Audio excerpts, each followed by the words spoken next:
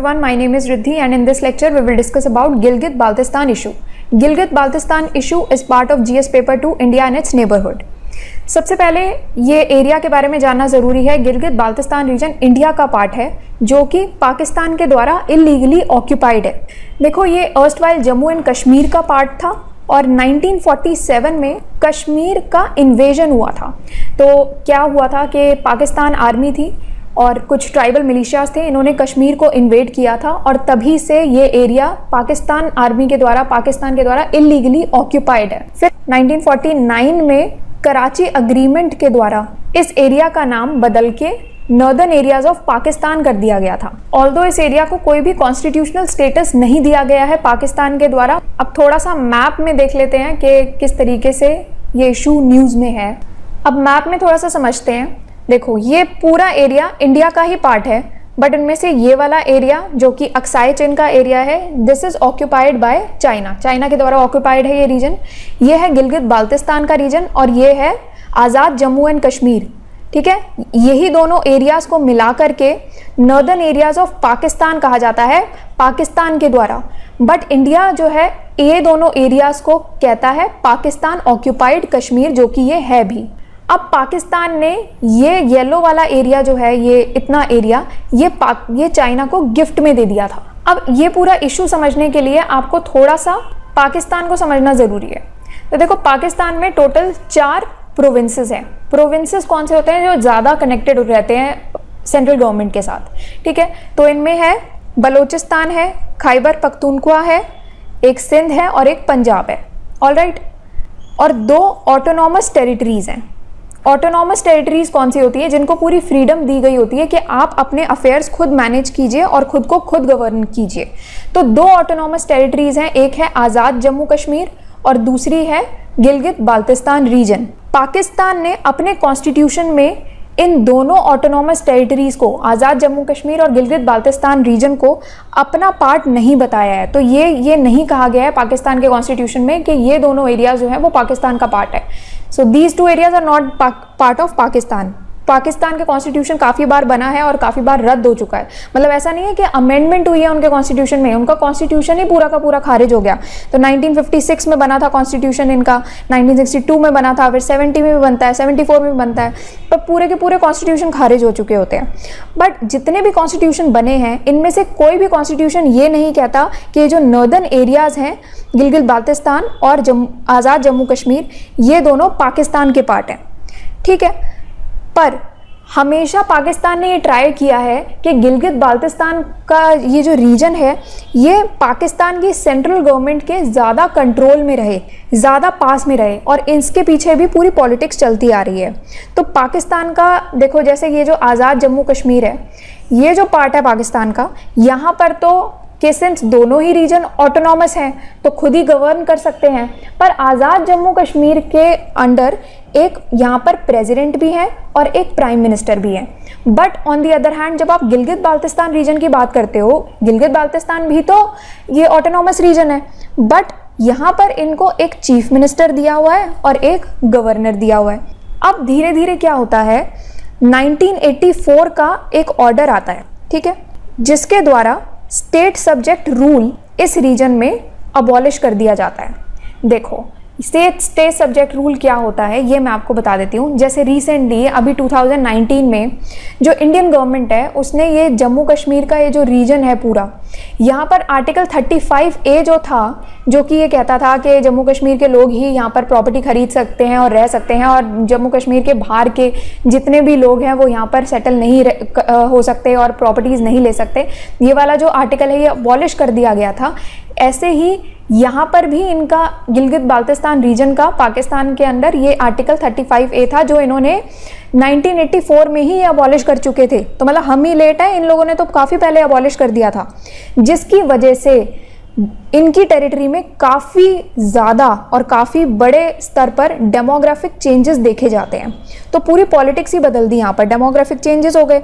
तो क्या हुआ था कि पाकिस्तान के अलग अलग पार्ट से यहाँ पर लोग आके रहने लगे। अलग अलग पार्ट से सेटल होने लगे। तो अब क्या होता है कि अब पाकिस्तान के लोग यहाँ पर लैंड परचेज कर सकते हैं, यहाँ पर रह सकते हैं। पूरा डेमोग्राफिक स्ट्रक्चर ही पूरा चेंज हो जाता है। अब धीरे धीरे यहाँ पर ये ट्राई क्या हो रहा होता है कि हम गिलगित बाल्तिस्तान रीजन की जो ऑटोनॉमी है वो पूरी ख़त्म कर दें। धीरे धीरे इरोड करते हैं ये। किस तरीके से इरोड करते हैं? तो 2009 का एक ऑर्डर आता है। अब इस ऑर्डर के द्वारा गिलगित बाल्तिस्तान रीजन को कुछ स्पेशल ऑटोनॉमी दी जाती है सेल्फ रूल की। कैसे दी जाती है? कि यहाँ पर इनको कह दिया जाता है कि आप गिलगित बाल्तिस्तान की एक लेजिस्लेटिव असेंबली होगी और एक काउंसिल भी हो सकता है इनका। ठीक है? तो ये दो चीज़ें यहाँ पर 2009 ऑर्डर के द्वारा दे दी जाती हैं। तो अब क्या है कि यहाँ पर कॉन्स्टिट्यूशनल स्टेटस तो अभी भी नहीं मिलता है गिलगित बाल्तिस्तान रीजन को बट एक प्रोविंस लाइक ऑटोनॉमी ज़रूर मिल जाती है कि आपके प्रोविंस लाइक स्टेटस आपको मिल जाता है। ठीक है? तो इसी लिए इसको कहा जाता है अब सेमी प्रोविंशियल स्टेटस इनको मिल जाता है। ठीक है? क्योंकि ना ही ये अभी स्टेट है और ना ही ये एक प्रोविंस है। तो इसलिए इनका ये सेमी प्रोविंशियल स्टेटस मिल गया इनको 2009 ऑर्डर से। अब क्या आता है? 2009 ऑर्डर के बाद आता है 2018 ऑर्डर जिसके द्वारा ये लोग यहाँ का सिटीजनशिप जो है, उसकी डेफिनेशन ही चेंज कर देते हैं। तो पाकिस्तान सिटीजनशिप एक्ट होता है 1951 का। इसके द्वारा सिटीजन की डेफिनेशन चेंज करके कह दिया जाता है कि जितने भी पाकिस्तान के लोग हैं जो यहाँ पर ये आए हैं, ये पाकिस्तान के लोग जो हैं, ये गिलगित बाल्तिस्तान के भी सिटीज़न माने जाएँगे। ठीक है? तो अब क्या हुआ कि और ज़्यादा डेमोग्राफी चेंज हो गई और माइग्रेशन जो है, वो और ज़्यादा बढ़ गया बाहर से। साथ में ये भी कहा गया कि प्राइम मिनिस्टर के पास ऐसी कोई भी पावर नहीं होगी। जब भी कोई डिफेंस से रिलेटेड मैटर्स होंगे या फॉरेन पॉलिसी रिलेटेड कोई भी मैटर्स होंगे तो उस पर जो प्राइम मिनिस्टर हैं, वो कोई भी यहाँ के लोगों का कोई से नहीं होगा। तो इसलिए यहाँ पर लेजिस्लेटिव पावर्स बढ़ जाती हैं तो ये ऐसे जैसे मिनरल्स हो गए या हाइड्रो पावर हो गया टूरिज़्म इन सब में पावर्स बढ़ती हैं पर अगर आपकी बात आती है डिफेंस की और फॉरेन पॉलिसी इश्यूज़ की तो इतनी पावर्स यहाँ पर नहीं दी जाती हैं अब क्या होता है यहाँ ये इशू क्यों आ रहा है क्यों इनका ऑटोनॉमस रीजन जो है ये ऑटोनॉमी जो है वो ख़त्म करने पे बात आ रही है देखो ये एरिया जो है ये बहुत इंपॉर्टेंट एरिया माना गया है ठीक है यहाँ पर अब जो मेन रोल आता है वो आता है सी का तो पाकिस्तान के पास ऑलरेडी बहुत ज़्यादा लोन्स हैं। अब वो लोन्स को चुकाने के लिए ही वो दूसरा लोन ले रहे हैं। तो चाइना का मानना ये था कि सी पैक आ जाता है यहाँ पर कि चाइना पाकिस्तान इकोनॉमिक कॉरिडोर यहाँ से चाइना जो है अपने इन्वेस्टमेंट करना चाह रही है पाकिस्तान में। तो ये एरिया इतना इंपॉर्टेंट है, क्यों है ये गिलगित बाल्तिस्तान का रीजन और ये पूरा रीजन इंपॉर्टेंट अगर पहले के टाइम पर ही, उसी टाइम ही इंडिया ये पूरा एरिया जो है वो लड़ जाती इसके लिए और ऑक्यूपाई कर लेती तो चाइना और पाकिस्तान का कोई कांटेक्ट ही नहीं रहता और यहाँ पर ये इन्वेस्टमेंट्स और ये ट्रेड हो ही नहीं रहा होता। बट सिंस उस टाइम पर हम लोग ऑक्यूपाई नहीं कर पाए और अब ये जो पूरा रीजन है, इसकी वजह से हमें काफ़ी प्रॉब्लम्स हो रही हैं। तो चाइना जो है पाकिस्तान में इन्वेस्टमेंट्स करना चाह रहा है और जो सी है, उसका रास्ता यहीं से होके जाता है। गिलगित बाल्तिस्तान रीजन से ही होके जाता है इसका रास्ता। तो चाइना थोड़ा सा स्केप्टिकल था कि ये गिलगित बाल्तिस्तान जो है, वो एक डिस्प्यूटेड टेरिटरी है।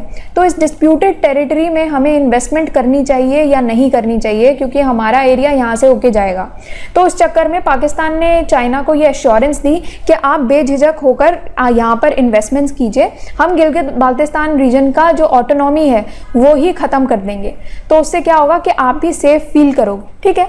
तो ये इसी चक्कर में अब चाइना जो है, यहाँ पर एनरूट कर रहा है और न्यूयॉर्क टाइम्स में एक आर्टिकल आया था, जिसके द्वारा ये लिखा गया था वहाँ पर कि पाकिस्तान में चाइनीज़ सोल्जर जो है, सात हज़ार से लेकर के ग्यारह हज़ार सोल्जर्स यहाँ पर मौजूद हैं चाइना के। तो 2010 से ही यहाँ पर ये सोल्जर्स मौजूद हैं। 2010 का ये आर्टिकल आता है न्यूयॉर्क टाइम्स का।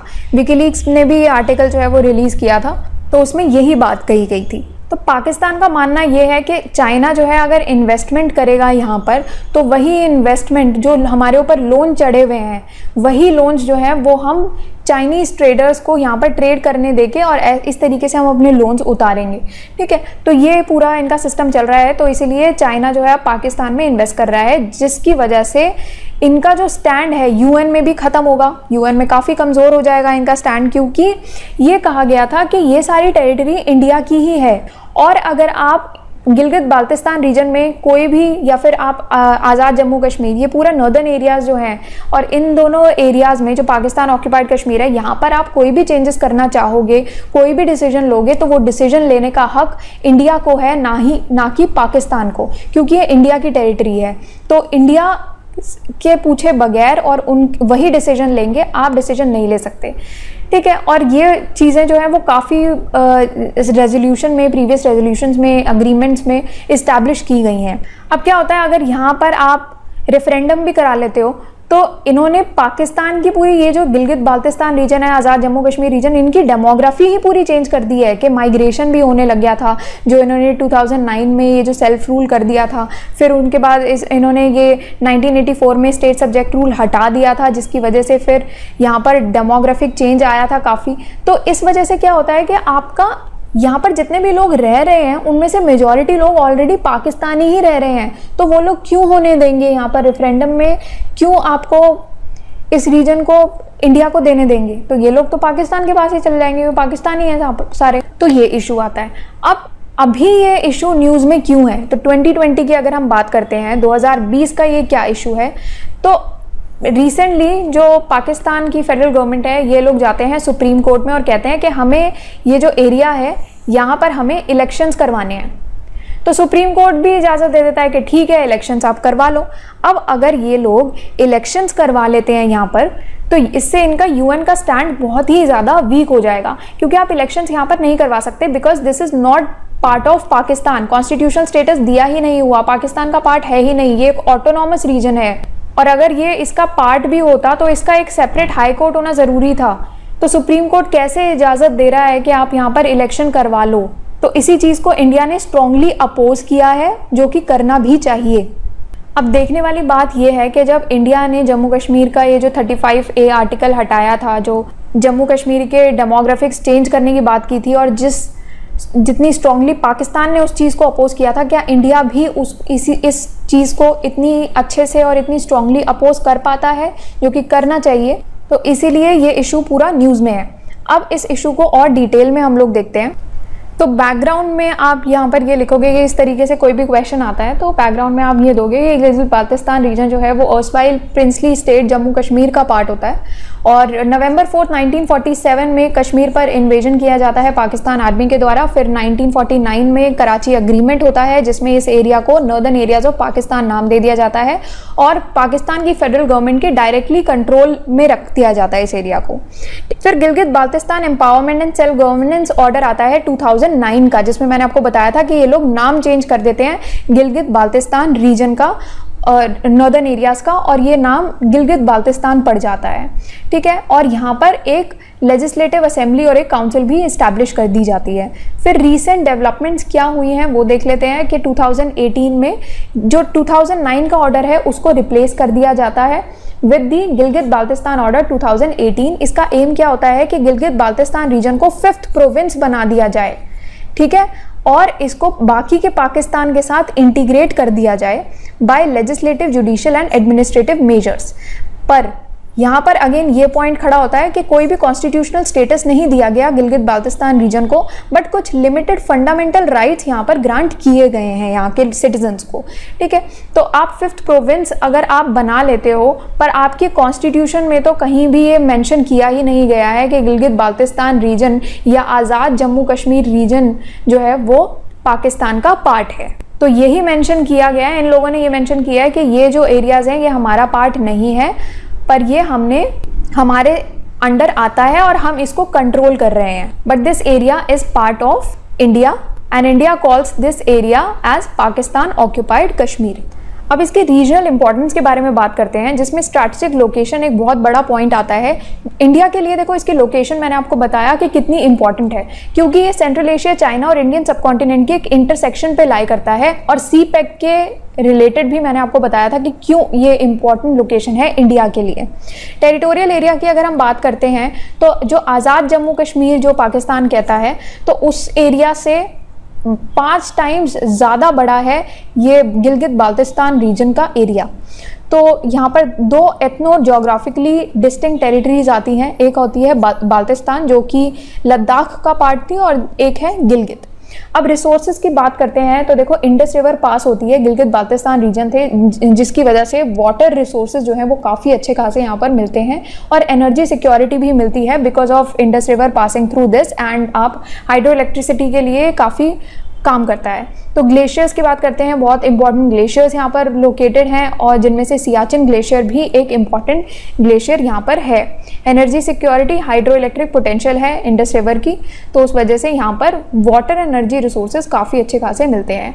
चाइनीज़ इंटरफेरेंस की अगर हम बात करते हैं तो सी पास होता है गिलगित बाल्तिस्तान रीजन से, जिसकी वजह से इंडिया को काफ़ी थ्रेट फेस करना पड़ सकता है because of Chinese intervention way forward में आप ये लिख सकते हो कि पाकिस्तान का जो कश्मीर केस है, उस पर डैमेज कर सकता है। देखो, गिलगित बाल्तिस्तान रीजन जो है, वो जम्मू कश्मीर का पार्ट है और यूएन रेजोल्यूशंस आए थे 1948 और 1949 के, जिसमें क्लियर लिंक बताया गया है गिलगित बाल्तिस्तान और कश्मीर इशू का। तो ये यहाँ पर कहा गया था कि जब तक कश्मीर डिस्प्यूट सॉल्व नहीं हो जाता, तब तक गिलगित बाल्तिस्तान रीजन जो है और ये रीजन जो है, यहाँ पर आपका लोकल अथॉरिटीज़ के द्वारा ही ये एडमिनिस्टर किया जाएगा। बट अगर ये लोग पाकिस्तान गिलगित बाल्तिस्तान रीजन में इलेक्शंस कंडक्ट करवा लेते हैं। तो उससे इनका ये जो कश्मीर का केस है, वो काफ़ी कमज़ोर पड़ जाएगा। दूसरी चीज़, ये कराची अग्रीमेंट का भी वायलेशन माना जाता है। कराची अग्रीमेंट एक इकलौता ऐसा इंस्ट्रूमेंट है, जो कि थोड़ी सी डाउटफुल लीगल अथॉरिटी प्रोवाइड करता है पाकिस्तान की एडमिनिस्ट्र एडमिनिस्ट्रेशन को गिलगित बाल्तिस्तान रीजन में। और ये भी वायलेट हो जाएगा अगर इन्होंने यहाँ पर इलेक्शन करवा लिए तो। अब कराची अग्रीमेंट में बेसिकली कहा क्या गया था? कि एक सीज फायर लाइन इस्टेब्लिश हुई थी। अब ये पूरा अग्रीमेंट का भी वायलेशन हो जाएगा अगर पाकिस्तान यहाँ पर इलेक्शन करवा लेते हैं। तीसरी चीज़ क्या होती है कि जो 1963 का जो पाकिस्तान चाइना बाउंड्री अग्रीमेंट था, उसका भी वायलेशन हो जाएगा। देखो, सबसे पहले तो आपको कश्मीर डिस्प्यूट को रिजॉल्व करना पड़ेगा। जब कश्मीर डिस्प्यूट इंडिया और पाकिस्तान के बीच में रिजॉल्व हो जाएगा, उसके बाद पाकिस्तान चाइना बाउंड्री अग्रीमेंट पर हम लोग आएँगे और एक सॉवरीन अथॉरिटी जो है, वो नेगोसिएशन करेगी चाइना के साथ। इसमें इंडिया जो है, इसको ये लीगल नहीं मानता है, क्योंकि इंडिया कहता है कि चाइना और पाकिस्तान का तो, तो कोई लिंक बनता ही नहीं है क्योंकि वो टेरिटरी भी हमारी ही है। ठीक है? तो इसीलिए चाइना का कोई इशू ही नहीं आता। तो सबसे पहले आप कश्मीर डिस्प्यूट रिजॉल्व करोगे उसके बाद आप पाकिस्तान चाइना बाउंड्री अग्रीमेंट पर आओगे। पर ये पूरा इशू भी वायलेट हो जाता है अगर पाकिस्तान यहाँ पर अगेन इलेक्शंस करवा लेता है। तो साथ में 1972 का शिमला अग्रीमेंट हुआ था उसका भी वायलेशन हो जाएगा। तो इसमें 1972 के शिमला अग्रीमेंट में ये साइन हुआ था जब इंदिरा गांधी की गवर्नमेंट थी तो उसमें ये बात की गई थी कि कोई भी, दोनों साइड में से कोई भी गवर्नमेंट जो है, या पाकिस्तान हो, चाहे इंडिया हो, दोनों अकेले से कोई भी डिसीज़न नहीं लेंगी यूनिलेटरी यूनिलेटरली सिचुएशन को ऑल्टर करने की कोशिश नहीं करेंगे ये लोग। तो इसका भी वायलेशन हो जाएगा। अब मेंस का एक क्वेश्चन यहाँ पर बनता है, जो कि आप ट्राई कर सकते हो आंसर राइटिंग सेक्शन में जाना। Examine the consequences of declaring Gilgit Baltistan as fifth province of Pakistan so try attempting this question in the answer writing section. And that's all for today. Thank you for watching the lecture.